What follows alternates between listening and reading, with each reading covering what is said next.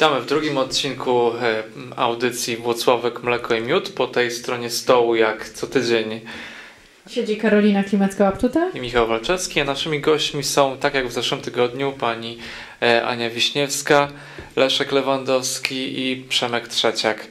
E, Słuchajcie, jest za nami strajk nauczycieli, nie będę się zagłębiał w ogóle w strajk, e, natomiast jedno co pokazał to chyba to, że ten system edukacji w Polsce wymaga jakichś reform, jakichś zmian. E, Pytam Was również z tego powodu, ponieważ jako ludzie związani z biznesem e, spotykacie się z tymi młodymi ludźmi, nie, nie, nie raz ich zatrudniacie, więc wiecie na ile oni są przez system edukacji w Polsce przygotowani do tego, żeby wejść na rynek pracy. Więc moje pytanie i temat na dzisiejszą dyskusję, czy system edukacji w Polsce należy zmienić, a jeżeli tak, to w jaki sposób? No nie wiem, może zacznę, bo akurat ja w branży edukacyjnej pracuję od 25 lat. No, system edukacyjny trzeba zmienić, bo gdyby on był dobry, to moja firma praktycznie nie miałaby racji bytu. A e, ona się ma coraz Przypomnij, czym się zajmujesz. E, Jest to firma, która udziela korepetycji, przygotowuje do sprawdzianu w ósmej klasie, robi e, przygotowanie do matury, ale te nasze zajęcia to nie tylko takie zajęcia typu korepetycja, ale mamy też zajęcia doświadczalne, czyli czegoś, czego się nie robi praktycznie w szkole, czyli są zajęcia z chemii, to są poparte doświadczeniami, to samo z biologii i to samo z fizyki. Także to jest troszkę inaczej e, zrobione. Czyli ja zrobiłem taką szkołę, jak według mnie ona powinna wyglądać, chociaż to są po prostu zwykłe korepetycje. E, Jeżeli chodzi o zmiany, to, to zmiany to jest wszystko do wyrąbania według mnie. Za przeproszeniem. Zacznijmy od programu. Program jest y, przez y, poprzednie rządy zmieniany, ale tam osoby, które grzebały w tym wszystkim, ponieważ w tym siedzę i dokładnie się znam, nie miały pojęcia w ogóle co w ogóle robią. To znaczy nie znały się na rzeczy. Y, Po pierwsze, program nie jest synchronizowany. To znaczy, jeżeli ja na fizyce potrzebuję w pierwszej klasie zrobić zadanie z równią pochyłą, to potrzebuję kąt. Ale żeby tam użyć kąt, to muszę mieć funkcje trygonometryczne. A one często są albo w drugim semestrze, albo dopiero w drugiej klasie. Czyli praktycznie nie ma możliwości zrobienia. Z chemii jest podobna sytuacja. Żeby oznaczyć na przykład pH, potrzebny jest logarytm dziesiętny. Logarytmy są też później. To podaję przykład. Mówisz czyli- cię- ciężkie definicje. Tak, ale to, nie ma, to chodzi tylko o to, że rzeczy, które powinny być wcześniej, są później. Czyli e, program jest źle ułożony, Aha, tak? dokładnie, wszystko źle poukładane. Poza tym bez To przerwy, się, bez przerwy się powtarza. To znaczy w podstawówce oni coś powtarzają, później, no teraz, teraz jest jedna, to już nie wiem, e, później w gimnazjum coś robiono do pewnego momentu, nie skończono e, i, robią w liceum znów powtórkę od początku i też nie są w stanie skończyć. To znaczy właściwie wszystko się rozpoczyna, wszystko się rozpaprze, a tak naprawdę nic się porządnie nie robi. Powinna być jakaś wąska specjalizacja, czyli powiedzmy, jeżeli ktoś wybiera profil biologiczno-chemiczny, to niech tej biologii, tej chemii ma mnóstwo, a po co mu pozostałe przedmioty, historia i tak dalej, a poza tym w pierwszej klasie oni mają groch z kapustą, czyli wszystko. Wszystko mają, wszystkie przedmioty. No po co? Jeżeli ktoś wybrał dany profil, to niech już ma to, tak? A poza tym wiele rzeczy jest od końca zrobione. No na przykład podam Państwu, że fizyka, która jest w pierwszej klasie dla wszystkich, tak? I ona jest na poziomie podstawowym, to jest fizyka, to jest astronomia i fizyka kwantowa. Czyli najgorsza rzecz, jaką jest do nauczenia, którą tak naprawdę we wszystkich książkach profesjonalnych robi się na samym końcu, bo żeby ją poznać, trzeba e, znać fizykę całą. A tej fizyki ludzie z gimnazjum nie przenoszą, czy podstawówki, w ogóle żadnej, a w pierwszej klasie mają fizykę kwantową. No to jest po prostu wszystko odwrócone. Także po prostu totalnie działanie takie, jak się chce. A w ósmej klasie już do końca sytuacja jak została zrobiona. To znaczy egzamin gimnazjalny i ósmoklasisty z matematyki nie różni się prawie niczym. Oczywiście tam profesorowie mówią, że się bardzo liczy, e, różni. Nie, nie, nie, nie różni się niczym, bo obcięto tylko bryły obrotowe i pole koła. To są tematy, które ja potrafię zrobić w dwie godziny z uczniami, a ci uczniowie na ten sam materiał, co mają gimnazjaliści, mają rok mniej. Czyli to, co wszystko jest, teraz jest ściśnięte jeszcze bardziej. A więc jeszcze mają więcej materiału, co oznacza, że jest tylko tak. UWW, klasóweczka, następne, następne, następne. Ludzie dostają oceny, nawet nie wiedzą już z czego. Po prostu jest totalnie jazda, tylko żeby z materiałem zdążyć, natomiast nie ma czasu na przemyślenia. Nasza szkoła w ogóle nie uczy myśleć, uczy tylko zakuć, yy, zdać Tak, klasówkę zapomnieć. i do widzenia.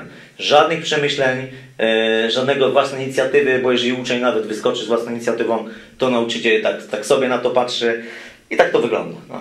No ale właśnie, to te, teraz przejdźmy do tego, y, co zacząłeś, dlaczego nauczyciele nie wspierają tego samodzielnego myślenia u uczniów? Przecież nic chyba nie stoi na przeszkodzie, żeby te lekcje trochę przeorganizować w ramach tego programu, który istnieje, prawda? Z tego, co Leszek powiedział, i tak jak jest, program jest bardzo przeładowany. I nauczyciel nawet nie ma szans wprowadzenia w ogóle swojego sposobu tak nauczania, jest. ponieważ musi tłuc materiał i temat za tematem, żeby się w ogóle w jakikolwiek sposób No ja, wyrobić. ja miałam... Dodatkowo jeszcze powiem, e, to co właśnie Leszek powiedział, właśnie bardzo cenną rzecz powiedział, że on ma możliwość robienia doświadczeń. W szkole tego nie ma, bo oczywiście szkoła nie ma pieniędzy. No i z tego wynika, że tak naprawdę rząd chyba zmierza do tego, żeby powstały prywatne szkoły.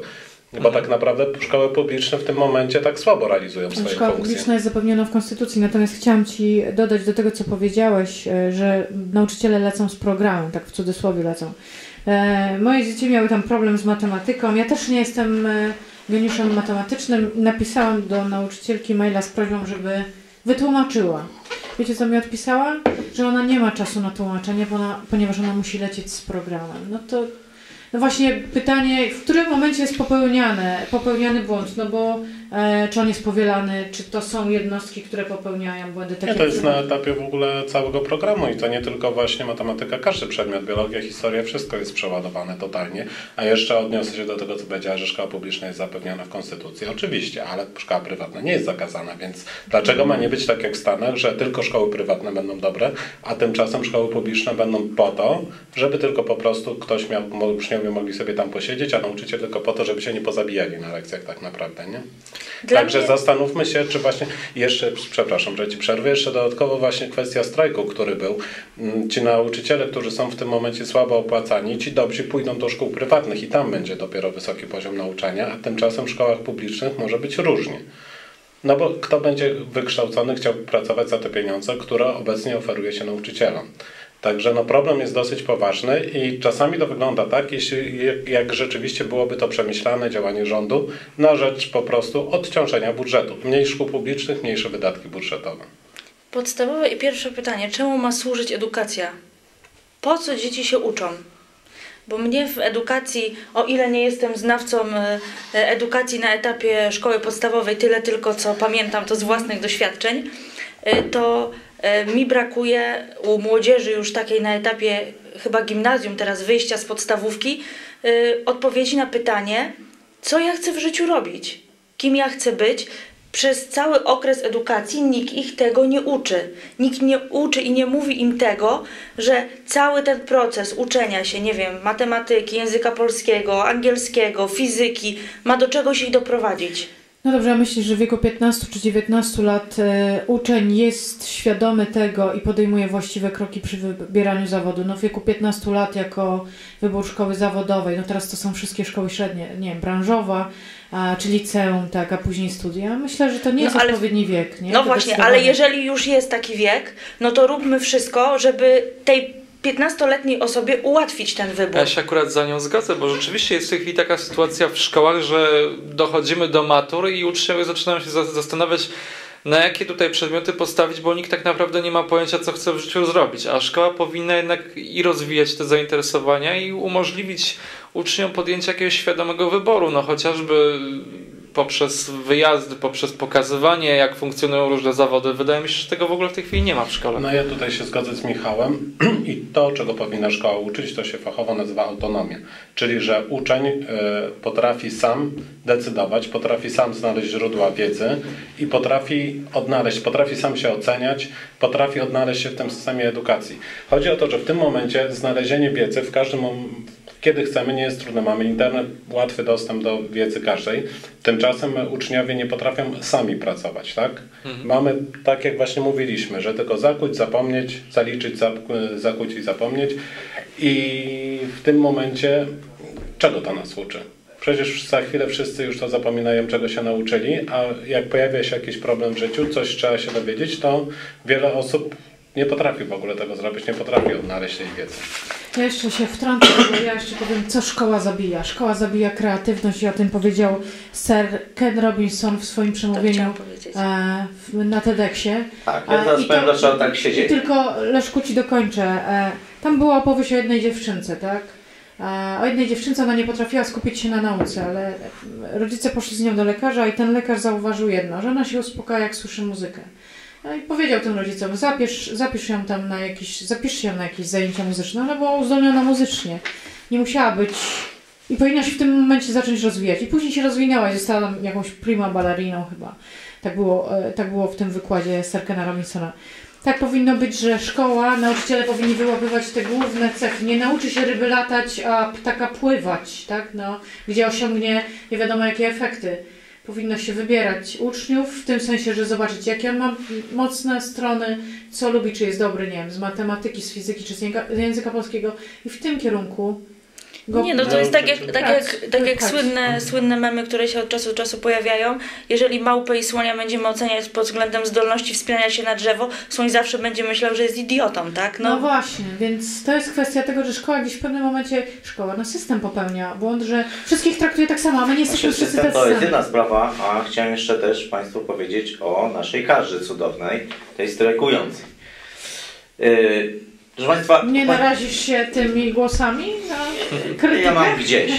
E, generalnie tak, połowę nauczycieli, proszę Państwa, według mnie, według tego co ja sprawdzam, bo ja też y, e, biorę udział w takich castingach, gdzie wybieramy nauczycieli w całym kraju do naszych firm. Oni muszą zadanka rozwiązać i, i problemy rozwiązać. Są osoby, które przygotowują do matury rozszerzonej z matematyki i one dostają dwa zadania, które ja wybieram, no na przykład z tegorocznej matury w tym roku będziemy dawać i one mają je rozwiązać. Mają tablicę, czas nieokreślony. I chciałem Państwu powiedzieć, że część tych osób nie umie tych zadań zrobić. To jak oni mają przygotować do matury, której sami nie potrafią napisać prawidłowo? Więc ja uważam, że tak, połowę ludzi Polsce, którzy pracują w szkole, w ogóle się nie nadają do tego, żeby pracować. Tutaj chcecie, żeby oni wyławiali talenty. Jeżeli uczeń się zgłasza, który jest bardzo zdolny, bo ma uwagi do nauczyciela, bo stwierdza, że tam jest coś źle zrobione i często ma rację, bo ja przygotowuję też olimpijczyków, to e, nauczyciel jest bardzo niezadowolony z tego powodu, ponieważ ta osoba mu przeszkadza, przede wszystkim wyławia jego błędy. Jeżeli siedzi mnóstwo ludzi, którzy nic kompletnie nie wiedzą, co on gada, to dla niego jest najwygodniej, bo nikt żadnego pytania nie zada. Czyli to jest pierwsza sprawa. E, e, e, najważniejsza jest rzecz taka, że połowę tych ludzi tam pracuje z przypadku. Są osoby, które nie mają wiedzy, po drugie nie lubią młodzieży i po trzecie w ogóle nie mają daru przekazywania informacji, jakiejkolwiek. Potrafią twierdzenie Pitagorasa tak opowiedzieć, że praktycznie nie wiadomo o co chodzi. I rozwiązanie jest jedno. Połowę z tych ludzi nie powinno w szkole pracować. Mam pomysł, jak to zrobić, żeby. Oczywiście on jest utopijny totalnie, tak? Żeby, żebyście wiedzieli. Otóż, przede wszystkim trzeba wparować do szkoły, musi przyjechać komisja, dać im takim, taką maturę, tylko na nowo zrobioną, żeby napisali z własnego przedmiotu, zrobić im pół godziny krócej, no w sumie są lepsi. już trzeba będzie za to zapłacić. No tak, może No na właśnie, początku tak, na to 90% muszą napisać, później druga część egzaminu to jest taka, że przychodzi komisja, ktoś ma karteczkę, ma 3 minuty na omówienie jakiegoś zjawiska, jeżeli komisja to zrozumie, to znaczy, że ta osoba przechodzi. Spokojnie połowa ludzi odpadnie. Niestety powinni iść na bezrobocie. Ta druga część dostaje te pieniądze, która, e, które idą na te osoby, które są zupełnie nie nadają się do pracy w szkole e, i ta osoba zarabia 6, 7 czy 5 tysięcy złotych do ręki. I to są już poważne pieniądze, ale oczywiście nie pracuje 4 godziny, tylko 8. I w tym momencie to się wszystko zacznie naprawiać. Ja już nie mówię o zmianie systemu, bo to jest inna sprawa, natomiast mówię, jak to mniej więcej sfinansować. Budżet państwa z tego nie dołoży nawet zetki. Musi być też odrobinę rynku w tym, żeby szkoła też, w zależności od tego, czy jest dobra, czy kiepska, dostawała różne pieniądze. Nie może tak być, że kiepski nauczyciel i dobry dostają tą samą kasę, potem dobry w końcu mu się nie chce uczyć, tak? Więc dobry nauczyciel powinien zostać, a ci pozostali powinni wypaść. I to jest mój pomysł na to. Natomiast jakoś trzeba to urynkowić, czyli tam, gdzie jest więcej uczniów, gdzie jest więcej chętnych, y, gdzie, gdzie szkoła jakby ma lepszą markę, tam musi być więcej pieniędzy. Poza tym nauczyciel powinien dostawać premię za to, że jego uczniowie zdają lepiej maturę niż pozostali. I tak dalej, i tak no, dalej. No ale nie ma czegoś takiego. No trzeba by całkowicie e, zmienić system. Y, Tam Żadna jest taki się- bajzer, żadna się partia taki bajzer jak pory. nas, u nas w podatkach, że tu nie można już nic zmieniać. To wszystko trzeba od zera zrobić. Od zera. Od programu, po system finansowania, po zlikwidowanie karty nauczyciela, która powoduje, że nie można kobiety, która ledwo widzi, ledwo słyszy, ma tam 60 parę lat, nie można jej zwolnić, bo ona ma jeszcze dwa lata do emerytury. No a młoda osoba, która na przykład u mnie pracuje, No, ale to pracuje w patologicznej szkole nie tam, mógł nie wiem, w dwójce czy w Osobę w okresie ochronnym zwolnić, no prawda? tak, ale ona, do mnie, u mnie pracują młode dziewczyny, które pracują na jakieś 1 6 etatów Mhm. w jakichś gównianych szkołach, gdzie się użerają z dzieciakami, a wiedzę mają dużo większą niż te renomowane babki. Tylko, że one się nie dostaną do szkoły, bo tam zablokują te, te babcie, tak? Te babcie marnuje, marnują tysiące młodych ludzi, bo ona nic nie widzi, nic nie słyszy i, i, i właściwie nie wiem, po co tam przychodzi do tej szkoły. No dobra, a tak organizacyjnie jakbyśmy spojrzeli na te nasze szkoły, bo mieliśmy najpierw ośmioklasówkę, potem mieliśmy te nieszczęsne gimnazja, które miało być czymś w rodzaju tego junior high school, y, które jest na zachodzie. Teraz mamy znowu y, ośmioklasówkę i czteroletnie liceum. Ma to jakieś znaczenie? Nie ma żadnego? Jak uważacie? Większy ból. My- Przepraszam bardzo. E, Nic to nie ma żadnego To znaczenia. znaczy, ja słyszałem akurat opinie od nauczycieli, niektórych oczywiście, to jest różnie zdania oczywiście są podzielane, że akurat w przypadku tych przygotowujących do matur, że te czteroletnie liceum im ułatwia pracę, bo jest więcej czasu. W trzy lata ciężko było czasem prawda. zrealizować właśnie ten materiał i wszystkiego nauczyć. Ale cały system, ale cały system według mnie, czy właśnie tak reforma systemu, czy mamy podstawówkę e, 6 lat plus gimnazjum, czy mamy 8, znaczenia. nie ma znaczenia, bo podstawowy błąd y, moją jakby działalnością poboczną to jest spotykanie się z młodzieżą na etapie y, nauki zawodu, przygotowanie zawodowe osób dorosłych. Są specjalne programy finansowane przez państwo, kiedy okazuje się, że taki gimnazjalista nie, nie pociągnął swojej edukacji dalej, nie poszedł do szkoły zawodowej czy do szkoły średniej i nagle ma 20 parę lat i ma tylko wykształcenie podstawowe, na rynku pracy nic nie znaczy, yy, i chce z powrotem zacząć się uczyć zawodu. I okazuje się, że to, co mówiłaś Karolina wcześniej, czy 15-latek jest w stanie wybrać zawód? Nie. Zazwyczaj wracają do takich tych y, prywatnych ośrodków szkoleniowych y, osoby w wieku około 20 paru, nieraz nawet pod 30, dopiero świadome tego, Co chcą robić co w życiu? chcą robić w życiu. I moje, i często nie poświęcam czasu na to, żeby omawiać z nimi ten materiał, który tam jest, bo tam też są podstawy matematyki, wszystkiego, yy, ale rozmawiam z nimi właśnie, co się stało wtedy, kiedy mieli te 15, 16, 18 lat, że nie chcieli się dalej uczyć. Dlaczego nie chcieli się uczyć? Czy nawet potrzeba posiadania, czy posiadania własnych pieniędzy nie, nie pchała ich A, e, w no. tym kierunku? Nie. A. Gdzieś cały, bo oni nie wiedzieli, czego chcą. No ale oni, to, to, że oni- nie wiedzieli czego chcą, no to jest ich problem. E, ale też system, system w tym nie pomaga, nikim nie pomógł, bo albo na przykład przychodzą osoby, które poszły do zawodówki, nie wiem, no chociażby na stolarza, na budowlańca, e, nie wiem, do, na mechanika samochodowego, a nagle spotykamy się po, po 10 latach i okazuje się, że nie, ten mechanik samochodowy jest świetnym kucharzem, a ta kucharka, nie wiem, jest świetną pielęgniarką teraz, tak? Ale chciałem powiedzieć e, Państwu, że obecnie na świecie, w tych, gdzie jest technologia na najwyższym poziomie, specjalizacja jest niezwykle wcześnie.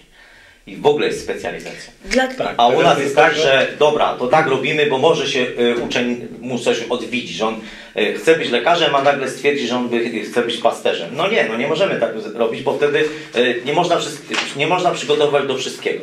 Y, No dobrze, Wszyscy ale- się specjalizują od samego początku. Ja mówię o Singapurze, mówię o Chinach, mówię o Stanach No Zjednoczonych. tak, ale jak będziesz matematyka przygotowywał od szóstej klasy podstawówki, to będziesz miał takiego robola, który będzie tylko potrafił dodawać i odejmować. no ale jeżeli to jest Nie, jego to pasja, to jeżeli to jest To jego nie- talent, Ja Jakieś- tak, ale Nie, matematyka nie jest do tego na tym poziomie, Nie, no, żeby po- był, zrobiłem on taki był tylko skrajny dodawał przykład odejmował, po prostu, żeby wiesz. nauczył się myśleć. Bo matematyka wyższa dopiero ma znaczenie Ale w wydaje mi się, że zastosowaniu, że, mamy telefon, mamy telewizor i tak dalej. Element tej ogólnokształcącej yy, wiedzy musi do jakiegoś etapu być po prostu. Ja się jak Tak, najbardziej nie, zgadzam, że ogólnie tak, ale on się powinien zakończyć na tej siódmej, ósmej klasie. Jak ktoś idzie do liceum, to już jest wąska działka i zasuwamy, a nie robimy wszystko po trochu i tak naprawdę w ogóle nic. Dobra, Przemek, Eee, coś chciałeś jeszcze dodać, powiem. Nie, no właśnie to, co to mówiliśmy właśnie, że no, powinno się wyłapywać od razu. Nie tak lecieć, lepiej, lecieć ślepo, że każdy w ogóle musi się uczyć biologii, historii, matematyki, Każdy wszystkiego, I fizyki. nie każdy musi Tylko być właśnie studentem, bo po, powinno być tak, że którzy, rzeczywiście powinniśmy e, wyłapywać dodają. to, jaki ma talent, w jakim kierunku i po co uczyć w ogóle matematyka na siłę historii, której w ogóle nie interesuje go pewnie i, i nie wchodzi mu do głowy. Historia jest u nas bez przerwy, bo wszyscy u nas u władzy, jak Państwo sobie zobaczycie, to wszyscy są historykami. No Kurna, no każdy jest historykiem. Nie ma żadnego biznesmena, to są ludzie, którzy by kiosku ruchu nie utrzymali, to są wszystko historycy. Natomiast nie ma człowieka wykształconego politycznie, ekonomicznie. Przepraszam, ja jestem po politologii. No, No ale nie zajmujesz się polityką, Nie tak rządzisz. nie rządzisz. E, Tusk, ekonomi, ten, e, e, jest, e, no, e, Ale Jest historykiem, no. No ale Leszku, żeby nie szukać daleko w samorząd, Tak. gdzie też mamy historyków, prezydent No tak? bo to są ludzie, którzy gdzie indziej by zarabiali śrubki, a ponieważ nic nie umieją, to tam się nadają. No, tam nic nie załatwiają, można się poklepać, po, pocieszyć i tam kicha z tego jest. Natomiast oni nigdzie indziej w zawodzie się by nie nadawali. To, że do dupy jest nasz system edukacji, to wystarczy sobie po prostu zobaczyć w rankingach, co się dzieje. Ja przyniosłem, bo to mówiście, żeby go nie czytać. Ale proszę Państwa, tak, Nie, muszę może- to po... może Nie, nie nie, ja się nie zgadzam. Ja muszę to powiedzieć tak. E, Nasze LZK za moich czasów było w pierwszej dziesiątce. Obecnie 157 miejsce. LMK 446, Długosz 628, Kopernik 983 zamie, zamie, zamyka stawkę 1000 No dobrze, to według Ciebie jako nauczyciela z czego to wynika? yy, z kadry, bo jest coraz bardziej słaba ta kadra. Ale wielu nauczycieli, którzy le, li, le, Oni już nie żyją ci dobrze, e, uczyli 20... No, przepraszam, ja albo są na emeryturze. Nie, 20 lat temu e, wielu nauczycieli, którzy nie uczyło w LMK, żyją i chyba uczą No żyją, ale on już nie chce im się uczyć, naprawdę. Pan Sobczak, który jest, to jest fantastyczny facet od fizyki, mu się nie chce uczyć, bo, bo, bo on ma rację. To jest człowiek za inteligentny, żeby tam siedzieć w tym grajdole, który się Może to teraz zrobi. społeczeństwo się Nie, robi ja podejrzewam, że podejrzewam, że właśnie te programy są takie dziwne, że po prostu No jak on zobaczył program zabijają fizyki, w to ogóle tak, nauczycielach Ludzie, kreatywność i chęć w ogóle to jak się tego tak. nie da zrobić, no to Nie, nie ale- lepiej rządzi się głupszym społeczeństwem. Oczywiście, natomiast... A nie, to to wiemy To od dawna. akurat chyba efekt uboczny jest prowadzonej Tak. To polityki przez wszystkie tego, rządy. Słuchajcie, że Włocławek no, jest głupim społeczeństwem. Nie, znaczy, No tak, nie, nie. No e, tak, licea są na pewno e, dość daleko. Licea są na niskim poziomie. Teraz e, Czemu? e, no nie ma dobrej kadry, tak? To jest przede wszystkim to, bo w LZK są najzdolniejsze dzieci, ale jakoś już na olimpiady nie startują i tak dalej. Tam nie ma już, poza panią od matematyki, to właściwie tam nie ma nikogo, jednej pani. Nie ma nikogo, kto jest, kto jest dobry. W LMK nie ma już dobrego fizyka żadnego.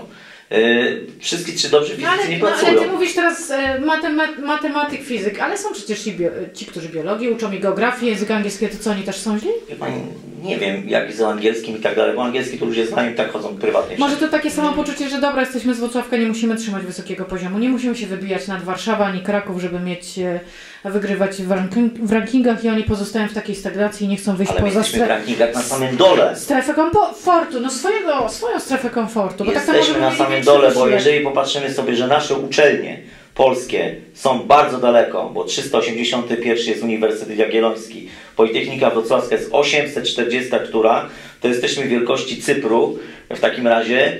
A teraz co dalej? A uczelnie, które są we Wrocławku, które ja bym bardzo chętnie powspierał, żeby coś się ruszyło, nie ma nawet w- na, y, gdzie jest ranking polskich uczelni, nie ma w pierwszej dwusetce, no nie znalazłem. Wie- Wiecie, No uczelnie tak, wyższe no, to jest no, zupełnie no, inny temat tak naprawdę, bo... Ale no te wyższe uczelnie kształtują dopiero to, co pokazuje, jaki jest poziom edukacji tak naprawdę.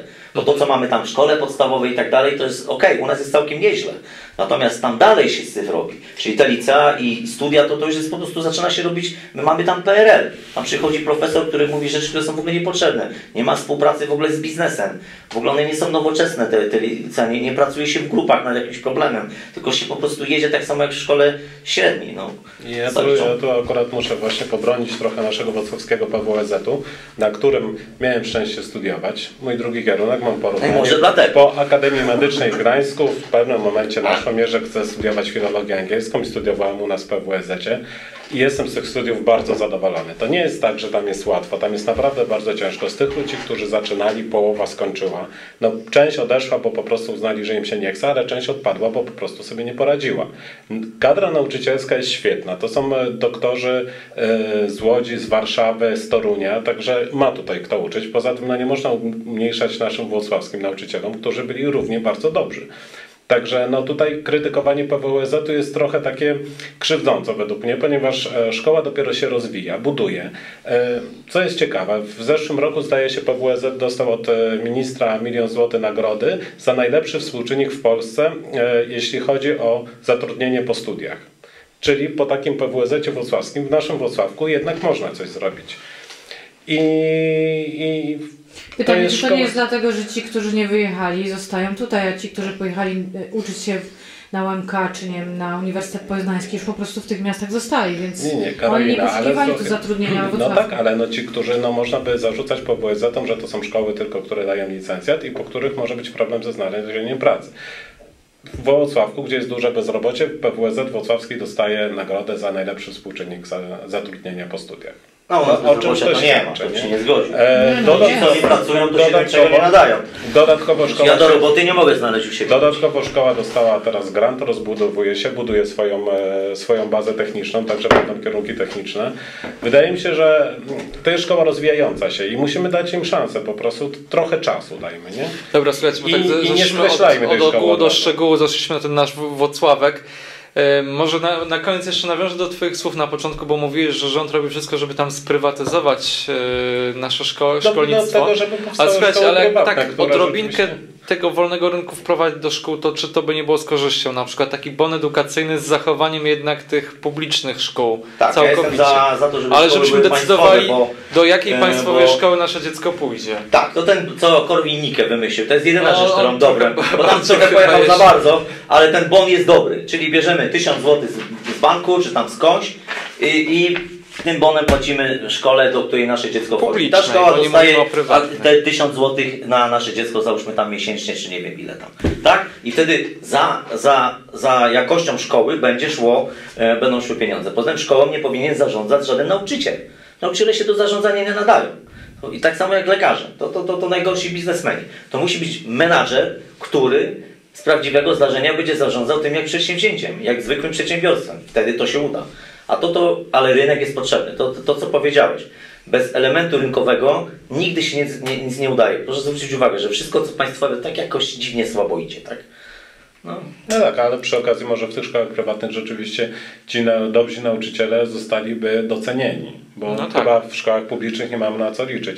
Ja znam wielu nauczycieli, akurat bardzo dużo w moim, e, w moim, moim kręgu jest nauczycieli i no to w ogóle co tutaj się mówi o nauczycielach wrocławskich jest według mnie dla nich bardzo krzywdzące. Znaczy, krzywdzące no nie ponieważ, wszyscy są beznadziejni. ponieważ to są jest bardzo grupa fantastycznych ludzi. To bardzo nie fajni tak. ludzie z bardzo otwartymi umysłami. Niestety oni rzeczywiście w swoich szkołach e, są bardzo tłamszeni, bardzo no po prostu trzeba Nie, no, realizować, robią- realizować program i musisz robić tak, a jak robisz swoje, to musisz albo mieć swoje pieniądze, żeby na przykład e, wydrukować coś w kolorze, żeby były lekcje ciekawsze. Za to nikim nie oddaje pieniędzy. Oni po prostu muszą sami finansować No i swoje ci ludzie, i, I oni mają po prostu w pewnym momencie dosyć. pieniądze. Tak, Tak, oni mają w pewnym momencie 30 dosyć i rezygnują. pracy 3000 zł do ręki, no to co to są No to, to, to, to, No to, śmieszne. wszyscy no to... mówią, że oni mało pracują. Wiadomo, no, mało pracują, no zgadza się godzinowo. Nie No wiadomo, tak, ale taki jest po. system. No, oni pewnie większość z nich mogłaby więcej pracować, gdyby za Oni chcieliby pracować, ale pracują też w wielu szkołach, żeby zarobić więcej kasy. No A to pracowaliby w jednej, zarabialiby porządnie i by się zajęli tematem, bo jeżeli są dobre pieniądze, to tam też by ludzie No się... i poza tym no nie, szkoła nie powinna oszukiwać, że uczy, tylko powinna uczyć, Jeszcze- powinna wspierać finansowo Jeszcze chciałem powiedzieć, jedną rzecz, jeśli jak chodzi mówią o Amerykanie, w edukacji grzebcie raz na 30 lat. Żebyście zobaczyli, jakie są efekty tych zmian. Kiedy całe pokolenie przeskoczy. U nas ledwo gimnazjum powstało, nie wiadomo, czy to jest dobre, czy złe, już jest kolejne. Przyjdzie następny rząd, znów to zmieni. Teraz ludzie, którzy chcą iść pracować w szkole, myślą tak, skończę za 5 lat studia.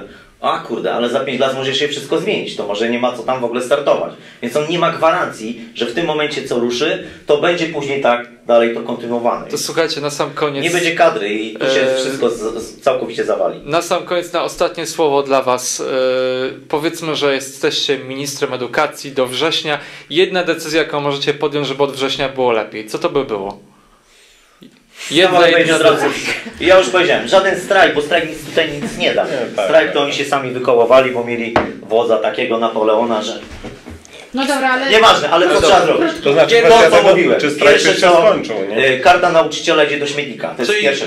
wywalamy kartę nauczyciela. Przemek, co można by było zrobić, żeby od września... jeszcze na razie, a nie ja pomyślę. Nie, ja bym e, e, po pierwsze nigdy ministrem edukacji zostać bym nie chciała. E, Ale powiedzmy, że, Ale że jedyne- nie masz wyboru. Nie ma wyboru. je, nie A do mam, niczego się nie nadaje, że jesteś ministrem edukacji.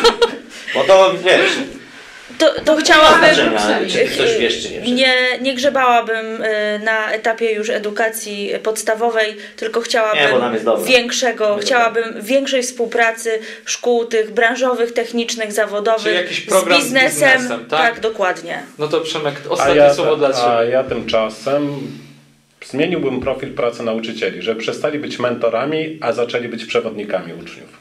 Czyli odchodzimy od modelu pruskiego słynnego, Tak. przechodzimy do modelu partnerskiego, tak? Tak. O, partnerstwo jest potrzebne. No dobrze, słuchajcie, to dziękuję Wam bardzo. E, dziękuję również Państwu za uwagę. Naszymi gośćmi w studiu byli dzisiaj Ania Wiśniewska, Leszek Lewandowski i Przemek Trzeciak.